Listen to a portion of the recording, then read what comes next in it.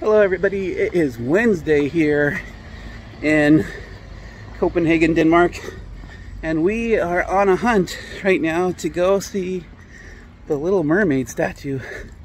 So that's what we're gonna do is we're gonna go find the Little Mermaid statue. We have a, one of the cathedrals out there and we're headed out over this way to the ocean. So come along for the venture. I'm walking by the fortress, the church outside the fortress in there is the first moat line for the fortress. Maybe when I walk around, I'll get a better view of it, but it's pretty impenetrable. Um, it's interesting.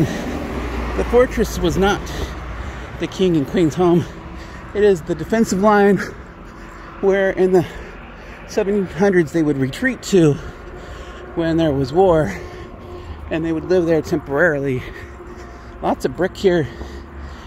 And so they would retreat there temporarily while the war was going on, and then they would move back to the Amalienborg Palace later when the coast was clear. A little Swedish church here.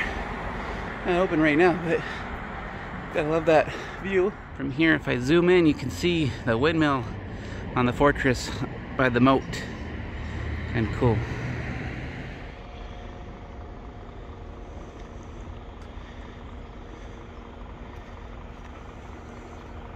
Love these roads here. These roads are awesome. I'm by the other side of the fortress. You just gotta check this out. Isn't that the coolest bridge ever? You got the city wall gate for the fortress, and then the cool little quaint houses on the other side. Just pretty awesome. Love it. These apartments. They're from the 1800s. That's awesome.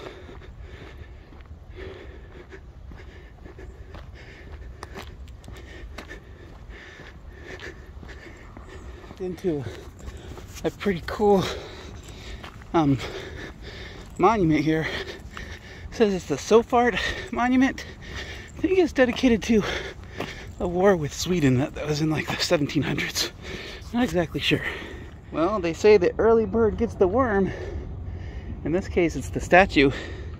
If you're here at 7, 6 a.m., I think it's like maybe at 6 a.m., there's plenty of light in Denmark, and there's nobody here um, to so your Little Mermaid statue is interesting because it was built in the 1900s, early 1900s, I think it was 1909, and it was donated by the CEO of a brewing company. And if the neck looks a little bit off, which it does here, there's a reason for that. And the reason for that is the model who did the model for the body was the sculptor's wife and then the head was a model for the sculpture because the model didn't want to pose nude but the wife I guess was okay with it.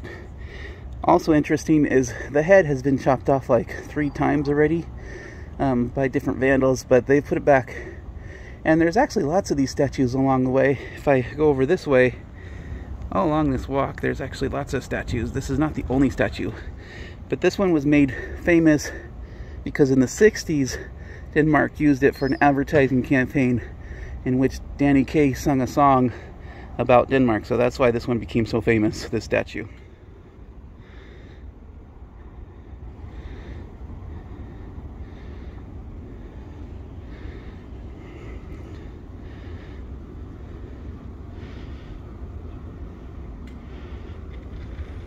ice cream shop sells ice cream now, but it's a shack and it used to sell marijuana.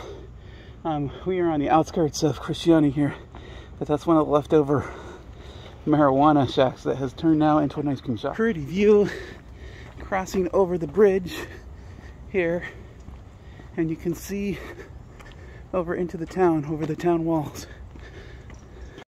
So that was my short walk to go see the statue. My biggest tip is go early and you can get it all to yourself.